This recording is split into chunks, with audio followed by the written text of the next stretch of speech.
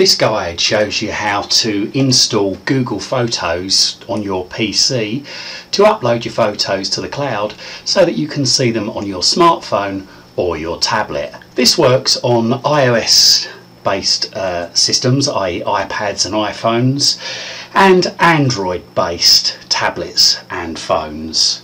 So first of all, you need to ensure that you've got a Google account.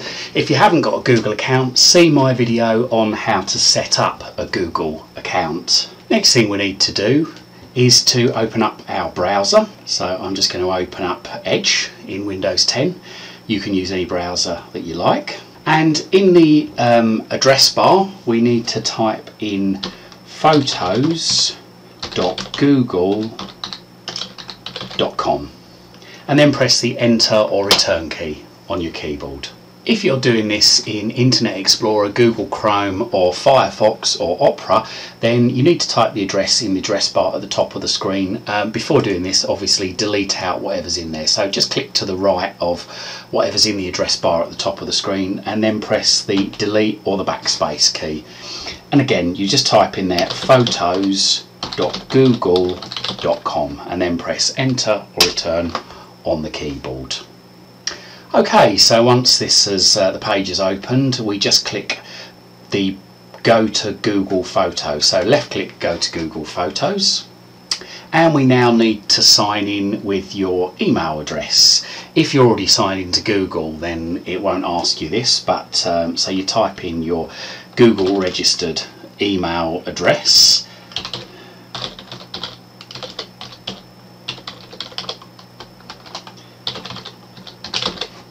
and then we click the next button. On the next screen we type in our password and make sure the stay signed in box is ticked. So we type in our password and then we click the sign in button. And if this is the first time we've gone into Google Photos, it will come up with Google Photos and we click continue. Now on here um, as well, before, before we got to this page, it may well ask you to add a mobile phone number for recovery if you haven't done so already.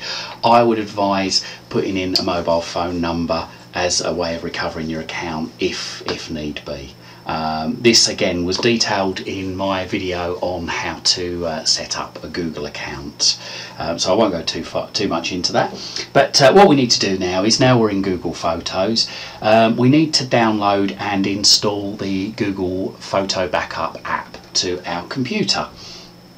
To do this we click on the three lines in the top right hand uh, top left hand corner sorry of the uh, Google screen. And we need to move our mouse over app downloads and we left click app downloads. Now we click left click the word download and it's already started downloading at the bottom here and it's running a security scan. If we're downloading in Internet Explorer it will give us a, a, uh, a box at the bottom of the screen saying do you want to run or save gp auto backup underscore setup.exe I'm going to click save if you're running Google Chrome, once you click download, this GP Auto Backup underscore setup will appear at the bottom of the screen.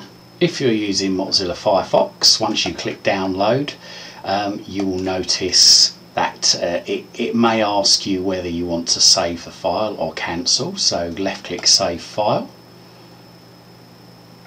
And once it's finished downloading, this arrow at the top of the screen here will go blue. Now we need to run the file. So again depending on which browser you've used to download the file in if you've used Edge um, we can left click on run here. If you're using Internet Explorer left click on run. If you're using Firefox left click the blue arrow in the top right hand corner here.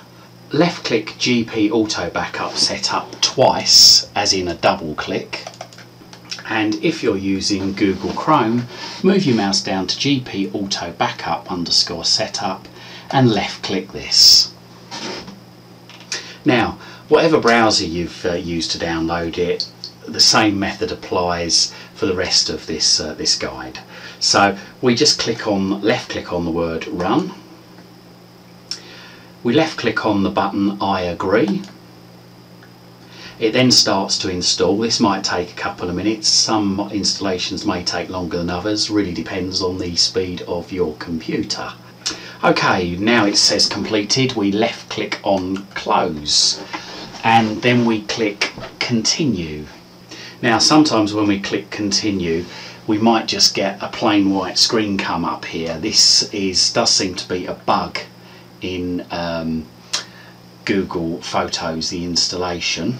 Now to get around this what I have to do is I have to move my mouse to the top right hand corner of the box here. Unfortunately it's a little bit out of view so uh, but I'm trying to find the, uh, the, the cross button at the top here. Let's just bring that down. So I left click on the close button and then I left click continue again.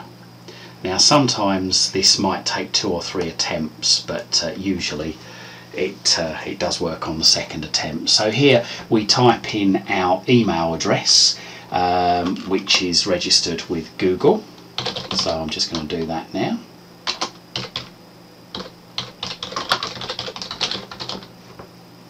and then we click the next button then we type in our password and click left click sign in and we'll get this uh, box appear on the screen, the Google Photos box. Now what I normally do is I normally untick cameras and storage cards so that it doesn't automatically import things from cameras and storage cards that we um, when we plug in a camera or a storage card we want it to go on the computer first and then the computer can pick it up and back it up to uh, um, the, the cloud so it says here it's going to back up our desktop and my pictures but what I also like to do is I like to add a couple of more folders. So let's left click add folder. And from this list um, I want to find the documents folder. I want to add that just in case there's some pictures in the documents folder. So left click documents folder and then click OK. And if I left click add folder again I'm just going to move down. I want to add the videos folder. And uh, that should import um, sort of standard video files MPEGs, AVIs if, if your video camera um, imports or, or sorry saves files as um, weird, a weird and wonderful format then it may not pick it up but this will pick up most things. It's the same with with pictures. It will generally pick up things like JPEGs GIFs BMP files all the standard picture formats and, and video formats. So uh, I'll click on videos and then click OK now um, the rest of it we want to leave at the photo size at high quality because we've got free unlimited storage there. Um, high quality is good enough for most people, certainly good enough for me. Um, you can select to have them uploaded to the original uh, resolution um, but unfortunately that counts against your 15 gigabytes worth of storage that Google gives you and on photos and videos you're going to eat into that pretty quickly. Uh, if you do eat it up you do have options to buy extra uh, storage from Google but like I say I tend to find the high quality the free unlimited storage um, tends to be good enough for most people. So I then left click start backup it says Google Photos backup is a go so I then left click OK on there. And then we'll see down here by the clock uh, mine's actually hidden by an arrow at the moment but a Google Photos icon. So if you can't see uh, this kind of symbol here down by your clock then click on the arrow that appears by the clock and there it is. Move our mouse over it. It says zero photos backed up at the moment. Well it's because I haven't got any photos on, on, on this computer on this test computer. But I just need to do a couple more sort of tweaks on here. So I right click on this uh, Google Photos icon down by the clock and then I left click settings and I just want to put a tick in the upload raw files so left click the box there and upload PNG files so left click the box there. Not the end of the world if you don't do this but it, it, it may upload a few extra files. So we then click the OK button. Okay now the photos on Google uh, depend on how many uh, how many photos you've actually got on the computer really depends on how long it's going to take to upload if you've got a couple of hundred photos, then this could take a few hours. If you've got thousands of photos, this could take several days, weeks, months. you know, if you've got hundreds of thousands, it could take uh, several years even. Really depends on uh, on the speed of your internet connection. But for most people, um, it's a good idea perhaps once you've installed this to uh, to perhaps leave your computer switched on overnight um, to let it back up um, the photos. If you want to go back and check any time how many photos it's got left to back up, you can move your mouse over the icon here and it will tell you how many photos it's got left to back up. Um, if your computer's turned off, then it will not back up. Um, I must stress that it needs to be turned on and signed in as the user that you've installed it under um, for it to back up the uh, the photos. Um, if you want to back up other users, you, unfortunately this will only back up uh, the user that you're currently logged in as. But if you do want to back up photos of other users, log in as them, read repeat this uh, installation and uh, install it and, and, and either give sign up in their um, Google account or sign up with yours if you want them added to your Google account, the photos that is. So the next thing we need to do is we need to um, put the app on our smartphone or tablet. Now if you've got a Apple tablet or smartphone then you need to go to the Apple App Store.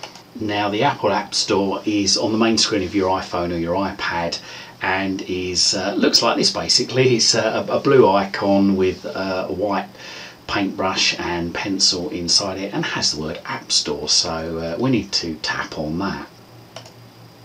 The Google Play Store uh, is like a, a, white paper bag with a, uh, a, an arrow inside it and it's got the word Play Store underneath so if you've got an Android phone or tablet tap the Play Store now, next thing we need to do is uh, to tap in the top right hand corner by the magnifying glass and type in Google space photos.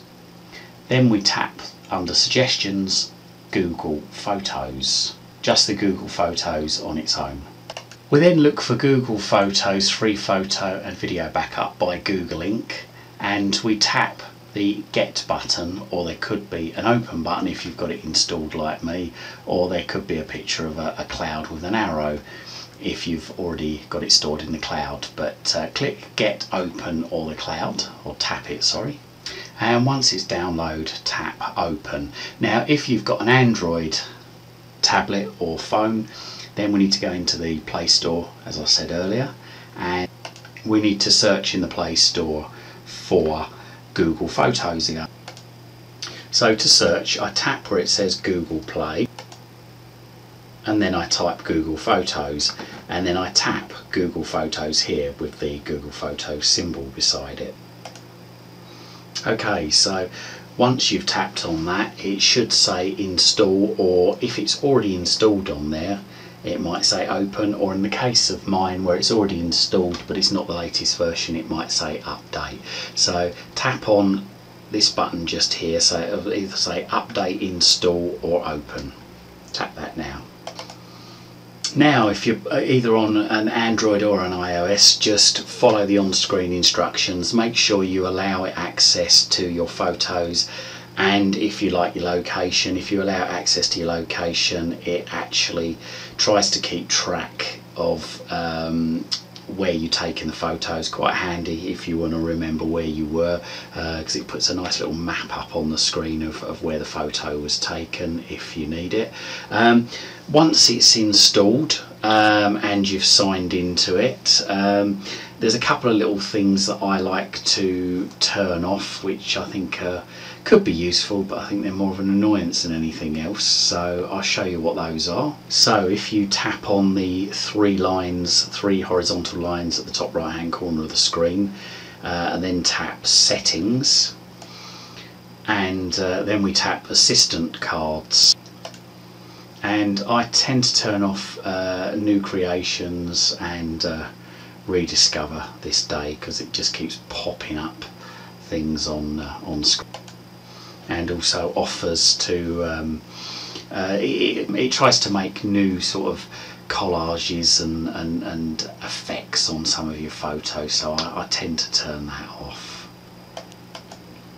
Also another thing to note if you're using um, Apple um, the, the, the system on both Apple and Android is designed to back up your photos taken on your phone, tablet, um, uh, or, or, Apple device. But on the Android devices, it will automatically back up um, once you've taken a photo, as long as you've uh, you've, you've set it to.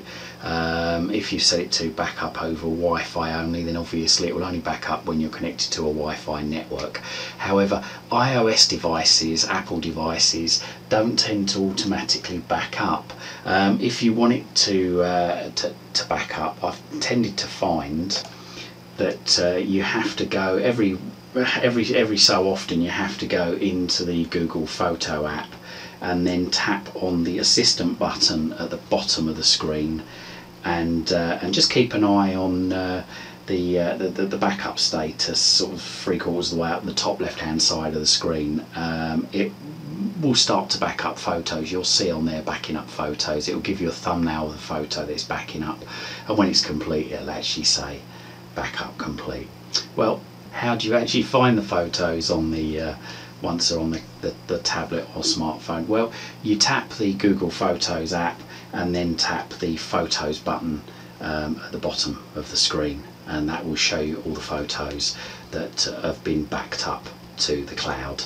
Now, as I said earlier, it could take a number of days, months or weeks even to, uh, to back up all your photos on the computer.